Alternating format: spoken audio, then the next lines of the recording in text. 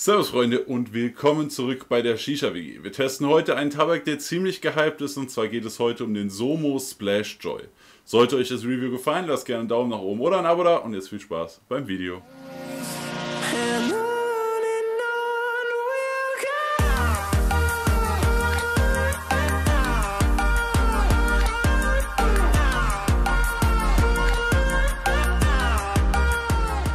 Da sind wir wieder mit dem Splash Joy. Wie gesagt, heute geht es um diesen krassen Hype-Tabak. Shisha Squad, Kassel, Hookase und Co.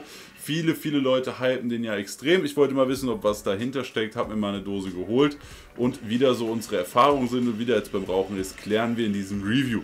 Als erstes blenden wir euch aber mal den Kopfbau ein. Wir rauchen das Ganze in der Japona Mami Bowl mit einer Smokebox oben drauf, eine Kohle komplett drinne und eine auf Kipp und das reicht auch schon an Hitze.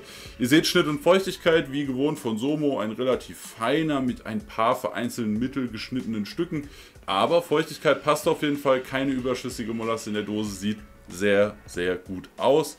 Äh, kann man auf jeden Fall nicht meckern und läuft wunderbar in diesem Setup, also wirklich 1A.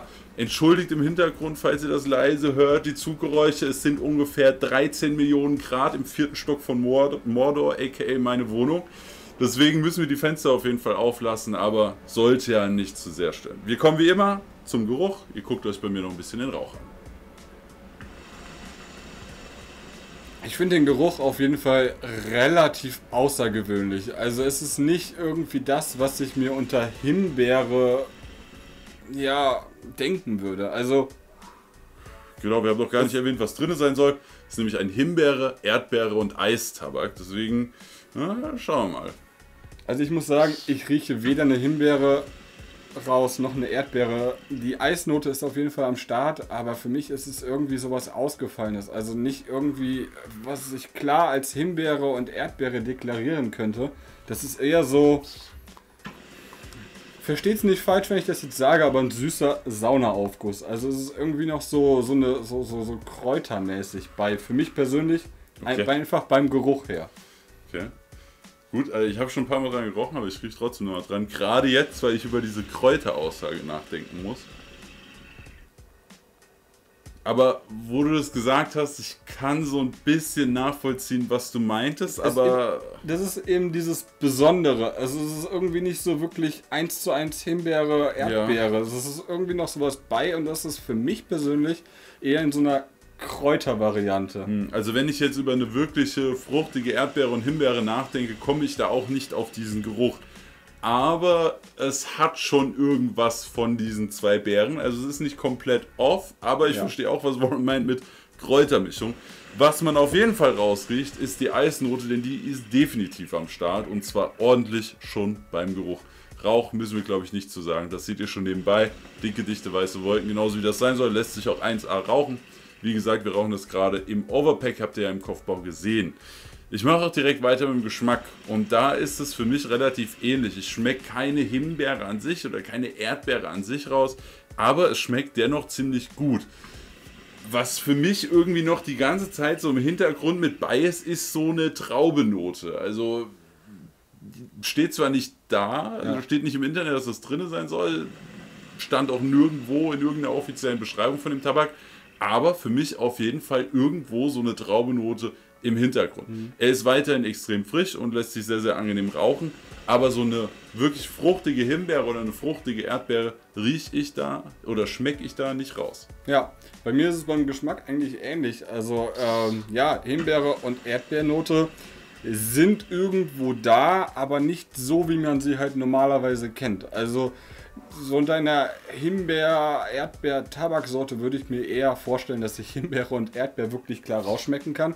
Hier ist es einfach irgendwas bei, so wenn du jetzt sagst, ja, okay, für mich schmeckt der noch so ein bisschen nach Traube, äh, kann ich sogar ziemlich gut nachvollziehen, weil es tatsächlich, wenn man es dann so darüber nachdenkt und wirklich mal dran zieht und irgendwie so versucht herauszufiltern, was wirklich drin ist, kommt es tatsächlich ein bisschen nach einer, nach, äh, in, in die Richtung von der Traube.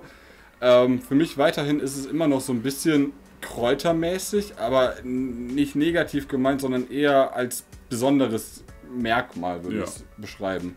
Von daher eigentlich ein ziemlich geiler Tabak, der mir auch ziemlich gut schmeckt. Nur eben nicht das, äh, ja, widerspiegelt, was ich eigentlich erwartet hätte. Aber trotzdem ziemlich gut. Ja, sehe ich auch so.